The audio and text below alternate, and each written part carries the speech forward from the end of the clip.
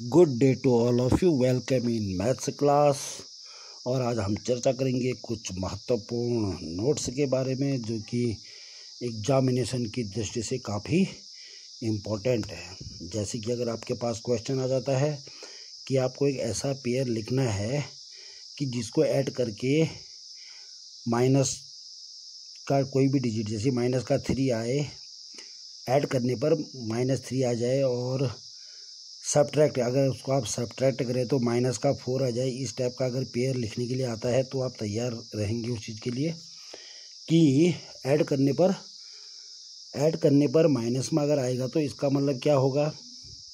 Minus की digit बड़ी होगी, बीच में साइन प्लस का ही रहेगा और पीछे की डिजिट क्या रहेगी? छोटी रहेगी। तो इस बात का विशेष ध्यान देंगे आप कि जोड़कर आपका आंसर आना है माइनस में।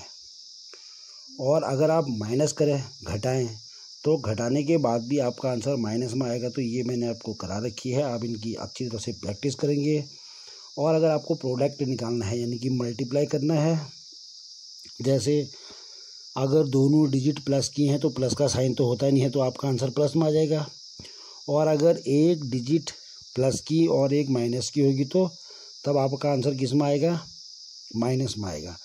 और अगर दोनों डिजिट माइनस की होंगी, यानी कि माइनस मल्टीप्लाई माइनस जैसे माइनस का ए है, मल्टीप्लाई में माइनस का बी है तो आपका आंसर प्लस में आ जाएगा। देखिए, प्लस का साइन नहीं लगता है।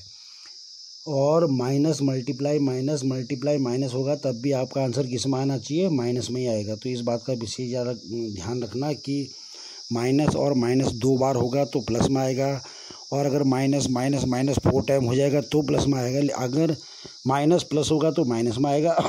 और अगर माइनस माइनस माइनस, यानी कि उसके पेयर नहीं होंगे थ्री टाइम होगा फाइव टाइम होगा तो आपका आंसर माइनस में आएगा। और जैसे कि आपको वेरीफाई करने के लिए दिया जा सकता है तो वेरीफाई का मतलब लेफ़्ट हैंड साइड में जितना आएगा लास्ट में आंसर वही आंसर आपका राइट हैंड साइड में भी आना चाहिए। मान लो आपने कोई क्वेश्चन सॉल्व किया और आपका लेफ़्ट हैंड में मान लो टेन आ गया सॉल्व करके तो उसी के जो राइट हैंड में दिया होगा, वहाँ भी आपको सॉल्व करके टेन ही आना चाहिए। तो तभी वो मतलब वेरीफाई होगा, नहीं तो वो वेरीफाई नहीं होगा। और अगर आपको फ्रैक्शंस दी जाती हैं बाय द वे सॉल्व करने के लिए तो फ्रैक्शन में आपको फ्रैक्शन का ऐड कैसे करते हैं और फ्रैक्शन यानी कि भिन्न और ऐड कैसे करते हैं सब्ट्रैक्ट कैसे करते हैं, इस बात का विशेष ध्यान देंगे। अगर दोनों का डिनोमिनेटर सेम होगा तो एल्शियम वही रहेगा।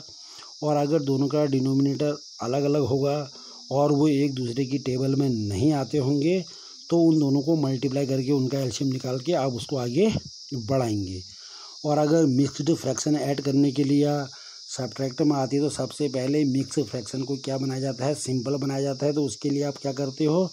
जो नीचे डिनोमिनेटर होता है बाई में, उससे जो कंप्लीट डिजिट है उसको मल्टीप्लाई करके जो ऊपर न्यूमिनेटर होता है उसको प्लस कर देते हैं। मान लीजिए आपके पास two complete, one by two है। जब आप उसको मल्टीप्लाई करोगे तो टू टू जा फोर और वन हो गया फाइव तो फाइव बाई टू आएगा। तो ये बात का विशेष ध्यान देना कि अगर सिंपल फ्रैक्शन है तो कोई दिक्कत नहीं है। अगर मिक्सड है तो पहले उसको सिंपल बनाएँगे।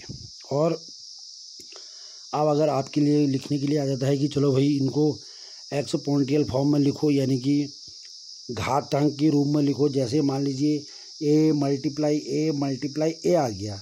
अब ए कितनी बार था? आपका आंसर क्या आना चाहिए? ए मल्टीप्लाई ए मल्टीप्लाई ए है तो आपका आंसर आना चाहिए। ए तो ए ही रहेगा। जितने टाइम था उतनी पावर लग जाएगी। अगर वो थ्री टाइम होगा तो ए के ऊपर थ्री टाइम पावर लग जाएगी। अगर वो फाइव टाइम होगा तो ए के ऊपर फाइव पावर लग जाएगी। समझ रहे हैं? जैसे अगर मान लो X multiply X multiply X multiply X कितनी बार आ गया? फोर टाइम तो आपका आंसर आना चाहिए एक्स की पावर फोर तो ये याद रखना। और अगर इसका ठीक अपोजिट आ जाता है कि आपको लिखना है प्रोडक्ट फॉर्म में और जैसे कि आपको मान लो दे रखा है टू ए स्क्वायर और इसको आपने लिखना है प्रोडक्ट फॉर्म में तो कैसे लिखेंगे? टू ए स्क्वायर था ना? टू तो टू ही रहेगा। बीच में साइन लग जाएगा मल्टीप्लाई का ए स्क्वायर है तो ए स्क्वायर को आप क्या लिख सकते हैं? ए मल्टीप्लाई ए तो इस टाइप का क्वेश्चन भी आने की संभावना आपकी उसमें रहती है। और एड द फॉलोइंग जैसे आपके एलजेब्रा में है, मान लीजिए आपको A plus A plus A plus ऐसे करना है तो यानी कि जो ऐड करने अगर सेम डिजिट होगी तो कोई आफत नहीं है, अगर डिफरेंट डिफरेंट होगी तो फिर क्या करेंगे, जो एक जैसे हैं, वो एक साथ आएँगे। जैसे अगर मान लो क्वेश्चन में ए बी है बी बी है सी है तो ए के साथ ए बी के साथ बी और सी के साथ सी आएगा। इस बात का विशेष ध्यान देंगे। और इस टाइप का क्वेश्चन भी आ सकता है कि आपको वैल्यू दे रखी है। मान लीजिए उसने बोल दिया कि ए की वैल्यू टू है। और फिर नीचे क्वेश्चन दे देगा आपको कि टू ए प्लस इतना। तो आपको क्या करना है? जहाँ पर ए लिखा होगा, वहाँ पर उसकी वैल्यू रख देंगे। चाहे वो ए लिखा हो एक्स लिखा हो, जो भी लिखा हो, वहाँ पर उसकी वैल्यू रख के अगर बीच में कोई भी साइन नहीं होता है तो वो साइन माना जाता है मल्टीप्लाई का ओके फिर चेक एंड वेरीफाई आपको बता दिया मैंने कि चेक एंड वेरीफाई कैसे किया जाता है। पहले क्वेश्चन को सॉल्व किया जाता है। एक जैसी डिजिट एक साथ आती हैं। फिर उनको ऐड या माइनस जो भी करना है, उसके बाद उसको जो वैल्यू आ जाएगी, उसी को आप निकाल लेंगे। और ये भी पूछा जा सकता है कि आपको कॉस्ट प्राइस और सेलिंग प्राइस दी हो और आपको प्रॉफिट लॉस और प्रॉफिट और मतलब यानी कि परसेंटेज परसेंटेज प्रॉफिट और परसेंटेज लॉस निकालनी है तो उसके लिए आपको परसेंटेज लॉस और परसेंटेज प्रॉफिट का फॉर्मूला पता होना चाहिए। सबसे पहले आप अगर प्रॉफिट होगा तो एसपी में से सीपी को माइनस करेंगे और अगर लॉस होगा तो सीपी में से एसपी को माइनस करेंगे। फिर परसेंटेज लॉस वाला या परसेंटेज प्रॉफिट वाला फॉर्मूला लगा देते हैं।